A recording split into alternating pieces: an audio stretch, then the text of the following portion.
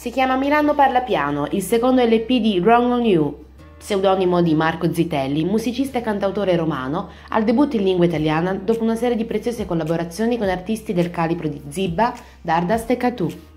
Come hai adattato la tua vocalità folk ai testi in italiano? Ma mh, sostanzialmente è nata un po' come sfida inizialmente, così per, per, per, vedere che usciva fuori, perché comunque sia mh, avevo sempre solo cantato in inglese, avevo pure solo ascoltato musica in inglese, quindi mi sono proprio approcciato per la prima volta mh, all'italiano anche per quanto riguarda gli ascolti, no? e ho scoperto anche molte affinità tipo tra Battisti e Boniver, quindi Mm, ho un po' studiato, un po' ho visto, ho cercato di capire come funzionasse la scrittura in italiano.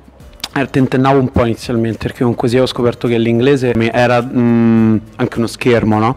E quindi ho deciso di, di togliere questo schermo e finita la prima canzone italiana poi mi è partita la penna e quindi mi sono trovato bene. Debutti in italiano omaggiando Milano.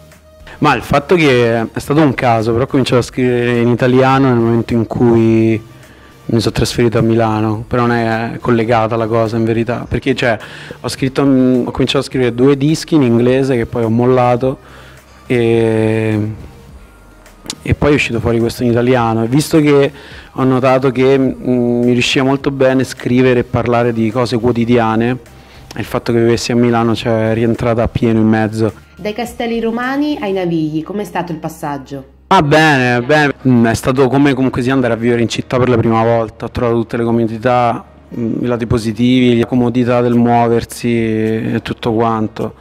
Poi eh, comunque sia una città si vede che cerca di stare al passo con l'Europa, vuole un posto primato e quindi è molto funzionale, funziona bene, sono un sacco di iniziative anche per, eh, per la musica, poi beh, la moda, la cultura eccetera eccetera, gli aspetti anche negativi, magari il fatto che comunque non c'è tanta calma, no?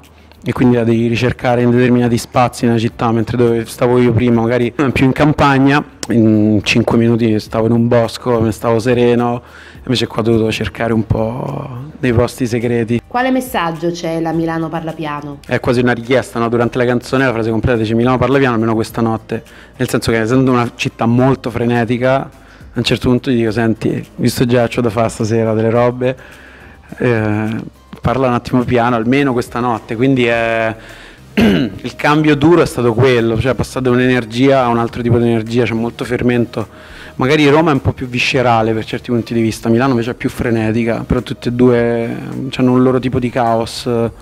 Milano è un po' più di classe a volte. In che zona abiti di Milano? Io sto in San Gottardo, come zona, Navigli, San Gottardo c'è continuo movimento. Però ti dirò, mi piace perché Corso San Gottardo comunque è molto paese, diciamo, perché poi a forza di camminarci conosci tutti i negozi e quindi c'ho il kebabaro che mo mi saluta, che comunque fa piacere, fa sentire un po' a casa.